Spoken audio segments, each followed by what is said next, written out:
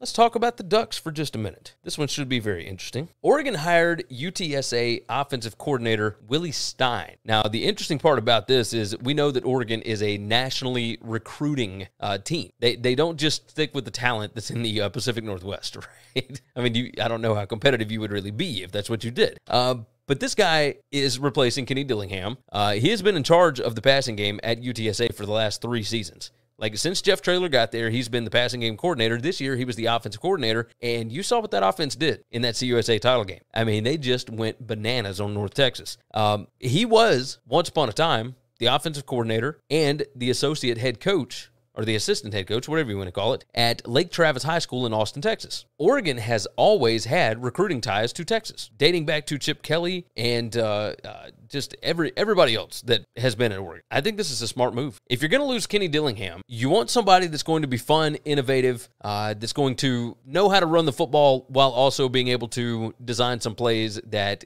get guys cheap yards. And that's what UTSA was really, really good at. They were able to get guys in space and get them the ball where they can move to where it makes the job of the quarterback a little bit easier. I think he's going to do the exact same thing here. And I think that this is going to open up uh, another recruiting pipeline into Texas, especially down at Lake Travis in that area. Like, there's a reason why Jeff Traylor hired the guy. Jeff Traylor was known as this. Like, he knows Texas high school. So now you're bringing in a young guy that's really innovative on the offensive side that understands how to recruit. I think this is smart move by Dan Lanning. He has been knocking these hires out of the park.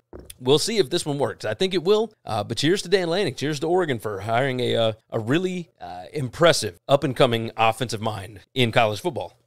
Thanks for listening to Winning Cures Everything. Make sure and subscribe on YouTube or your favorite podcast app. And make sure to leave a nice five star review.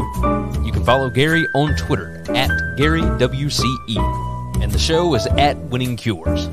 Be sure to check out the merch in our web store and share the show.